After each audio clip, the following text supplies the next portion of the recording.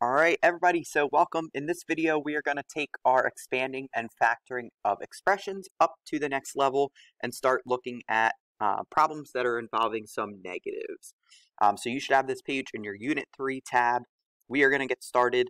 Again, we are going to keep using the distributive property to factor and expand expressions now involving some negatives.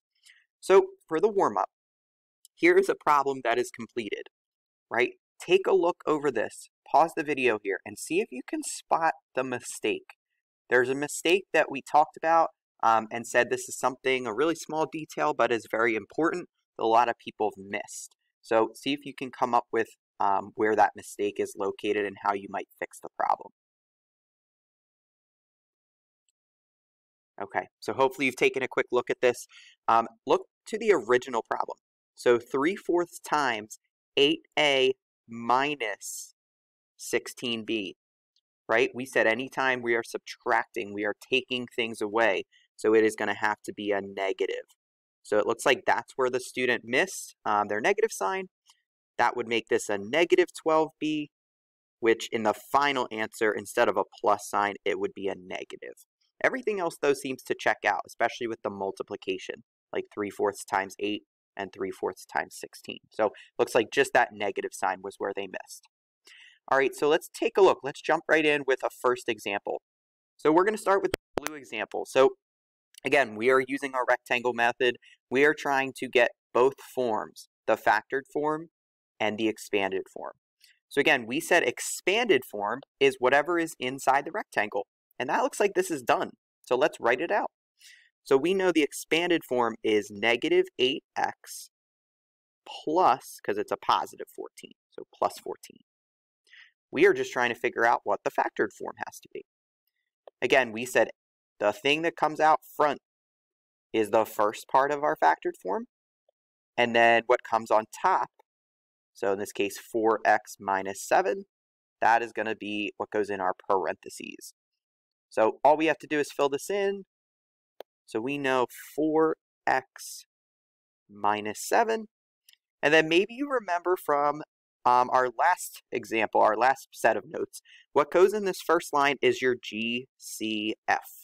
So it's what you can take out, the largest thing that both terms, negative 8x and 14, have in common. So first of all, we have a negative 8 and a 14. They're both even numbers, so you can definitely factor out a 2, right? Can we do anything else? You could try more, could try a greater number, but it would still give you a decimal. So 2 is going to be the biggest thing that we can factor out. This term has an x, this one does not, so we cannot factor out an x from those terms. However, the only other thing that we would need to check, and it's actually a nice hint, is they wanted us to factor this, which we're doing by pulling out the GCF, but they already gave us part of the factor form. So let's use that we're, let's look at just the whole number part. So we're starting inside. The expanded form is a 14, and the factored form, that becomes a negative 7. So how would you get from 14 back to 7? Well, you know you're going to have to divide by 2, and the sign is switching. So you would be dividing by a negative 2. Let me move that over so it's clear. So you're dividing by a negative 2. Let's just check, because if you do it for this side, you better be doing it for the first term too. So let's see, so negative 8x, and we need to get to 4x. And if we divide by a negative 2, that will definitely get us there. So our GCF in this problem is actually going to be a negative 2. So that's what's going to come out in the uh, front of our parentheses for our factored form. So that one is good. Again, we could find this GCF on our own, but if they fill in part of the, the rectangle for you, like the top part, use that to help you, right? So when you, eh, on your own, take a look at the purple example, use the fact that you have a 1 here to figure out what your GCF is going to be. Okay, so we're going to leave that purple example for you to try. We're going to take a look at the green one now. So let's see. Again, expanded form is inside the rectangle. We don't know that.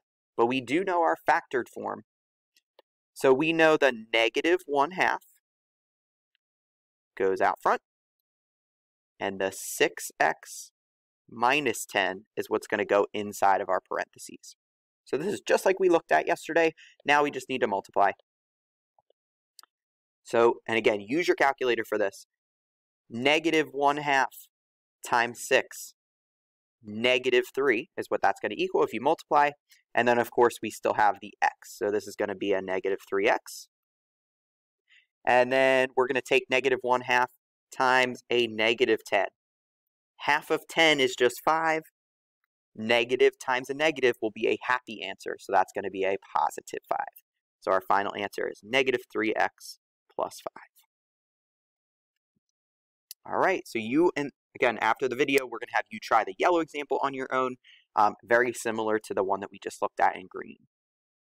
All right, if you scroll to examples 5 and 6, we are going to leave the first one, example 5, to you, but we are going to look at example 6 together. They want us to expand, so that means we're solving for what's inside the rectangle. So let's see if we know what we can put on the outside.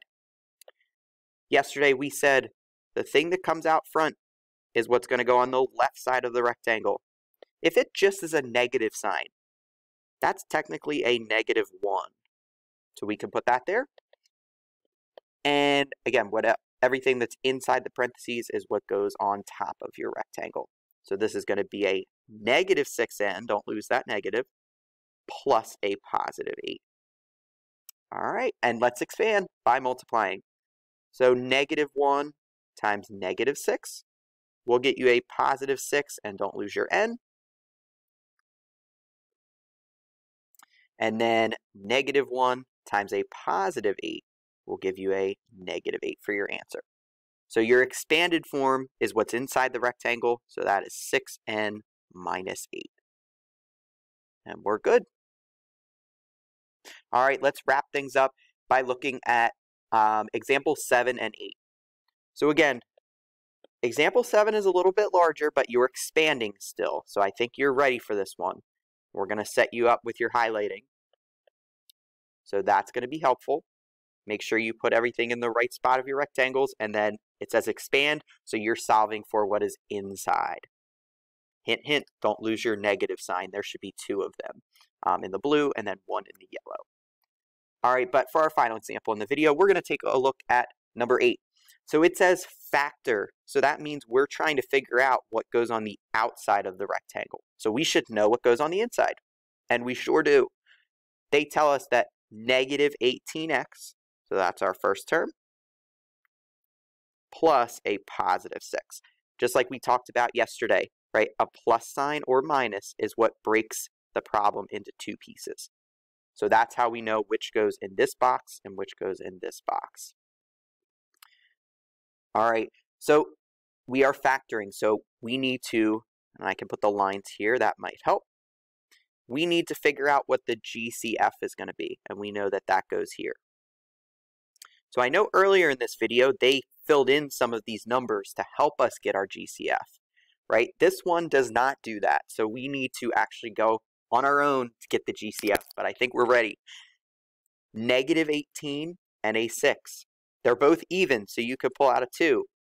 They actually both are multiples of 6 as well, so we can factor out a 6.